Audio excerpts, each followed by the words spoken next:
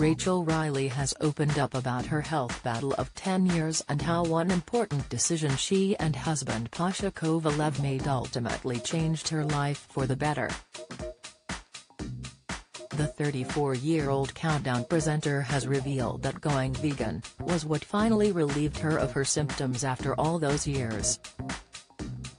She spoke about how she and her husband Pasha, 43, transitioned to removing animal products from their diet in 2018. In an interview with the Mail Online, she shared that there were loads of reasons for the sudden change but it began because she was ill with food.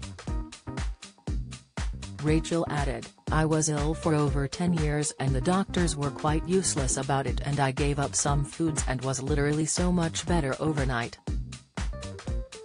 Stacey Solomon trying not to cry in cryptic career update after this morning rumors I didn't realize how bad I was feeling until I wasn't feeling bad. The couple began removing eggs and dairy initially before moving to eat at vegan restaurants.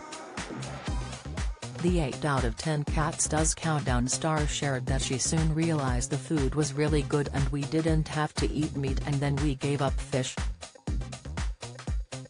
She added that even when pregnant, her diet could be maintained with a few food supplements instead. Don't miss.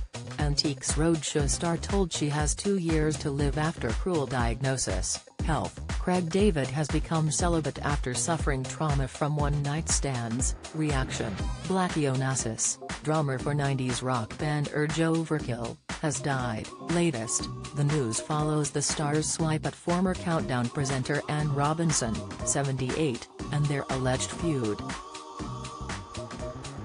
The Sun reported that Channel 4 fans knew there had been a rift between the pair during Anne's time on the show, and became the first female host to take the role after Nick Hewer stepped down in June 2021 after hosting for 10 years.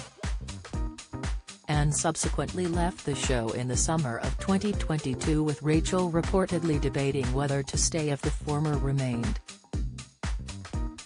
Speaking to the Mail Online about host Colin, Rachel said fans had noticed a change to the show after the former The Weakest Link host had left.